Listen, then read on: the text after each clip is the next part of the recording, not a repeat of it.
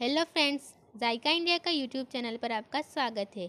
आज हम आपके साथ शेयर करेंगे बिहार के फ़ेमस चंपारण मटन की रेसिपी जिसे अहुना मटन भी कहते हैं। आसान फ़ूड रेसिपीज़ के लिए हमारे चैनल को सब्सक्राइब करें और बेल आइकन दबाना ना भूलें। बिहार का फ़ेमस चंपारण मटन बनाने के लिए हमने यहाँ पर ली है 500 ग्राम कटी हुई प्याज। अब इसमें हम कुछ इंग्रेडिएंट्स ऐड करेंगे। खड़े मसालों में हम इसमें ऐड करेंगे दस से बारह लौंग, दस से बारह काली मिर्च, दालचीनी के छोटे छोटे पाँच से छः टुकड़े, एक फूल, एक बड़ी इलायची और दो छोटी इलायची।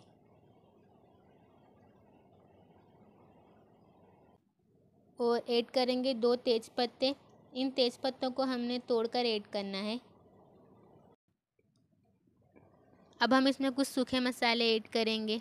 सूखे मसालों में हमने ली है एक टीस्पून हल्दी पाउडर, दो टीस्पून धनिया पाउडर, दो टीस्पून लाल मिर्च पाउडर, एक टीस्पून कश्मीरी लाल मिर्च पाउडर, डेढ़ टीस्पून नमक, एक टीस्पून जीरा पाउडर। आप यहाँ पर हाफ़ टी स्पून गर्म मसाला भी ऐड कर सकते हैं, लेकिन हमने उसे स्किप किया है। और अब हम इसमें ऐड कर देंगे दो लहसुन के गांठिए। देखिए यहाँ पर हमें दो लहसुन साबुत ऐड करने हैं। इसी के साथ हम इसमें ऐड कर देंगे एक एक इंच के दो अदरक के टुकड़े। और ऐड करेंगे दो टीस्पून अदरक लहसुन का पेस्ट।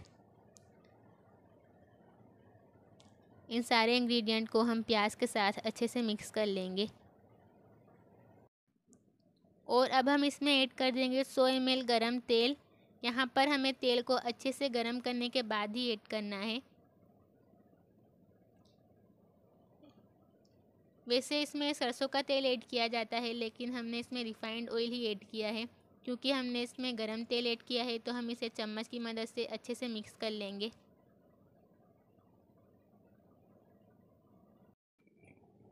और अब हम इसमें ऐड कर देंगे एक किलो मटन। मटन को इन सारे इंग्रेडिएंट्स के साथ अच्छे से मिक्स कर लेंगे। देखिए, हमें इसे मैरिनेट नहीं करना। मिक्स करने के बाद हम इसे तुरंत ही पका लेंगे। ट्रेडिशनली चंपारण मटन जो है, वो मिट्टी के बर्तन में बनता है। इसलिए हमने यहाँ पर एक मिट्टी की हांडी ली है। इसमें हमने ऐड किया है एक टेबल स्पून तेल और इस तेल को हम पूरी हांडी में अच्छे से स्प्रेड कर देंगे। तेल को अच्छी तरह स्प्रेड करने के बाद हम इसमें ऐड कर देंगे हमारा मटन।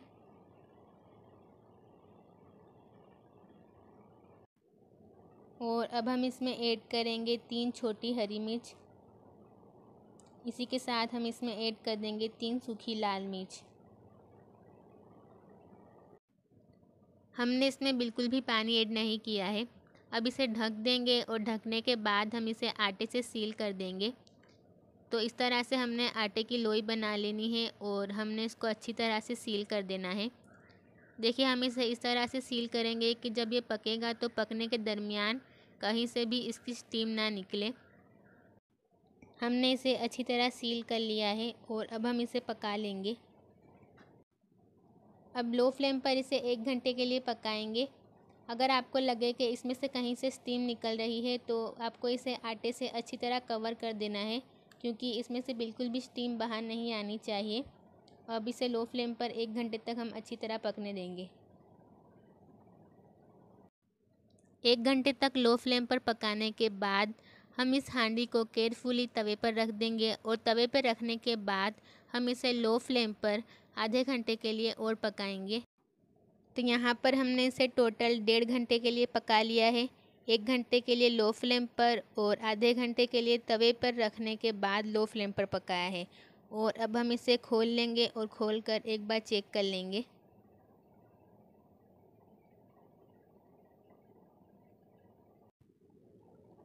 जैसे कि आप देख सकते हैं कि हमारा जो मटन है वो अच्छे से गल चुका है। अगर आपका मटन स्टेज पर गलता नहीं है तो आपने इसको तवे पे से उतार के लो फ्लेम पर 15 से 20 मिनट के लिए ढक कर और पका लेना है। देखिए, ज़रूरी नहीं है कि इसे फिर से आटे से कवर करेंगे। सिर्फ़ से ढक कर इस पर वज़न रख के और पका लें इसे। और अब हमने इसे गैस पर रख दिया है और इसमें ग्रेवी के लिए ऐड करेंगे एक कप पानी। अच्छे से मिक्स कर लेंगे और लो फ्लेम पर इसे पाँच से सात मिनट के लिए पकाएँगे।